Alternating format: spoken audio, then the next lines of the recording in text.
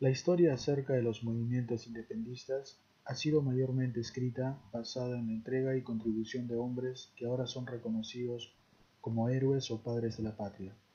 Sin embargo, el rol de la mujer en estos movimientos independistas ha sido poco analizado debido a su falta de representación política en la sociedad colonial machista a fines del siglo XVIII y principios del XIX. Mujeres como Micaela Bastidas, Policarpa Salabarrieta, María de las Mercedes Barbudo, Josefa Ortiz de Domínguez y Leona Vicario, entre muchas otras, contribuyeron luchando tanto en el campo de batalla como promoviendo ideologías independentistas a través de tertulias o reuniones sociales. Micaela Bastidas nació en 1744 en el pueblo de Pampamarca, provincia de Tinta, Cusco. Tuvo maestros muy severos que la educaron en su casa en el conocimiento de letras y artes. Se cuenta que a los 15 años Micaela ya era una mujer de belleza excepcional, que atrajo la atención del joven cacique José Gabriel Condorcanqui, más conocido como Tupac Amaru, que fue cacique de Pampamarca, Tundazuca y Surimana y descendiente directo por línea materna del último inca Tupac Amaru I. El 25 de mayo de 1760, Micaela y José Gabriel se unieron en feliz matrimonio y juntos se juraron amor eterno. Fruto de esta unión, tuvieron tres hijos llamados Hipólito, Mariano y Fernando. La gran rebelión de José Gabriel Condorcanqui en Perú y en Bolivia fue un levantamiento indígena en contra de los tributos elevados y alto precio de los bienes esenciales. José Gabriel Condorcanqui usó su ascendencia incaica para rebelarse en contra de los españoles bajo el nombre de Tupac Amaru II. Hombres y mujeres indígenas y mestizas se unieron a una causa que amenazó el control español de la región. Evidencia de los juicios y las cartas que fueron escritas en ese tiempo revelan que las mujeres tuvieron un papel activo e importante en la rebelión.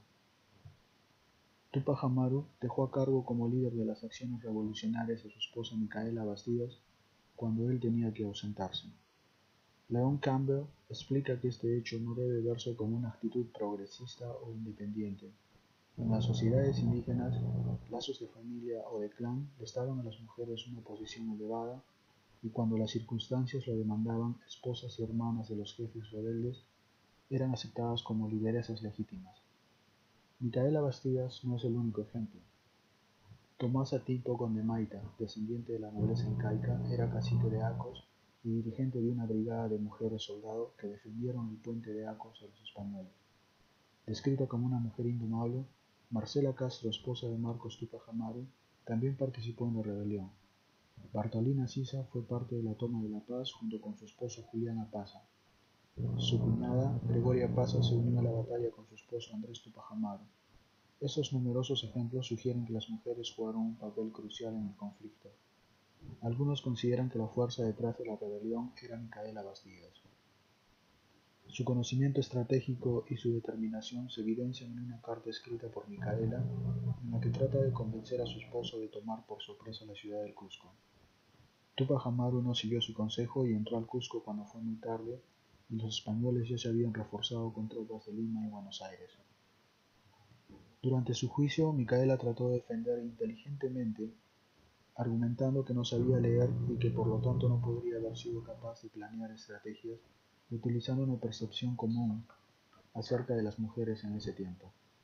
De la misma manera, Diego Tupac Amaru insistía que las mujeres debían ser perdonadas, ya que las mujeres eran incapaces de tomar decisiones y no podían desobedecer a sus maridos.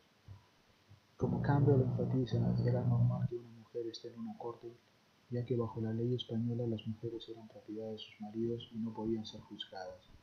Se tuvo que hacer una excepción para que las mujeres sean culpadas de traición a la corona. A pesar de todo esfuerzo por absolverlas, Micaela Bastidas, Marcela Castro y Tito Condemaita fueron condenadas a muerte. Cecilia Tupac Amaru recibió 200 latigazos. Fue obligada a montar desnuda una mula por la ciudad y fue sentenciada a 10 años de exilio en México. El 18 de mayo de 1781, nueve personas fueron ejecutadas en la Plaza Viernes del Cusco. Entre ellas se encontraban Bastidas y Tito Condemaita. A Condemaita le cortaron la cabeza y a Micaela también, pero antes le cortaron la lengua y la ahorcaron mientras le pateaban el pecho y el vientre. Sus cuerpos fueron descuartizados y esparcidos por, los pueblos que participaron de la rebelión. Gregoria Pasa y Bartolina Sisa fueron ejecutadas en 1782. Arpasa fue torturada, colgada y descuartizada. Sisa fue obligada a vestir una corona de cuero y plumas para ser colgada. Su cabeza y sus manos fueron cortadas para exhibirse en los pueblos. Marcela Castro fue arrestada en su casa, fue atada de pies y manos para ponerlas en un saco y arrastrarla con caballos por la plaza. El 2 de abril de 1783 le cortaron la lengua, la colgaron y descuartizaron. Tratar de discernir si estas mujeres actuaron con autonomía siguiendo sus propias agendas políticas o si simplemente actuaban como aliadas de sus maridos sería especular. Pero aún así sus acciones fueron parte de un comportamiento común en las sociedades indígenas. Eso no le quita valor a su esfuerzo. Esas mujeres tomaron parte del combate físico y fueron capaces de planear estrategias militares. Por consiguiente, no eran tontas ni dependientes. Más aún, las autoridades coloniales las tomaron lo suficientemente en serio para cambiar la ley y asegurarse de que recibieran castigos severos que fueron ejecutados con mucha publicidad. Para Pablo Macera, distinguido historiador, explica el modelo de conducta adoptado por Micaela. De algún modo, Micaela Bastidas pertenece a un grupo de mujeres cuyo modelo de conducta femenina es muy antiguo en los Andes peruanos. En la escuela a nuestras jóvenes y a nuestras niñas se les ha presentado como ejemplo a seguir a Mama Ogio, que habría enseñado a cocinar a las mujeres andinas de su época. Esto significa adoptar una posición machista acerca de la historia peruana, y lo que es peor, estamos destinando a nuestras hijas a ser simplemente cocineras, lo cual no es en sí mismo un mal oficio, sino cuando se piensa que eso es tarea exclusiva y condición básica y única para una mujer, para que una mujer sea aceptada en la sociedad. La mujer andina ha contribuido a la independencia nacional y al desarrollo en numerosas áreas, pero una de sus mejores contribuciones ha sido una lucha del tipo social y militar, de tal modo que no podemos entender la historia precolonial sin poner al lado de Mama Ogio a Mama Huaco a la mujer guerrera. Micaela Bastidas de alguna manera es la Mama Huaco del siglo XVIII. Josefa Ortiz de Domínguez nació en 773 en Valladolid, México. De los peninsulares Juan José Ortiz y Manuela Girón, pero ellos murieron cuando ella era muy joven, motivo por el cual fue criada por su hermana mayor. Fue educada en el Colegio de las Vizcaínas hasta 1791, donde conoció Miguel Domínguez. En 1791 793 se casó con Miguel Domínguez, que era corregidor de la ciudad de Querétaro. Mientras su esposo trabajaba en el gobierno, Ortiz y Domínguez hacía las tareas de la casa y estaba en cargo de la educación de sus catorce hijos. Durante este tiempo, desarrolló interés por los indios, mestizos y criollos porque estas personas eran oprimidos por el gobierno español. Los indios no eran recogidos por el gobierno los mestizos y criollos eran tratados como ciudadanos de segunda clase. Ella participó en la conspiración Querétaro, que fue liderado por los criollos que quisieron difundir las ideas de la ilustración. Ella organizó tertulias, tertulias en su casa que en realidad eran de reuniones políticas. Estas reuniones fueron los inicios del movimiento de independencia y asistieron personas importantes como Miguel Hidalgo y Ignacio Allende.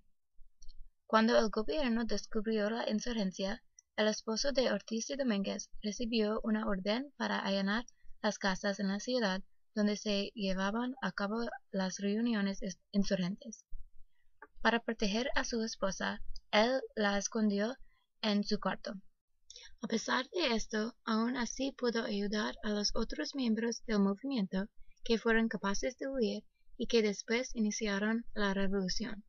Efectivamente, las acciones de Ortiz de Domínguez permitieron al cura Hidalgo a dar el grito de Dolores, que era el inicio de la guerra en el 16 de septiembre de 1810. Ortiz y Domínguez fue encarcelada por su participación en la rebelión, pero más tarde fue puesta en libertad con la ayuda de su marido. Hoy en día se le reconoce como la madre de la patria.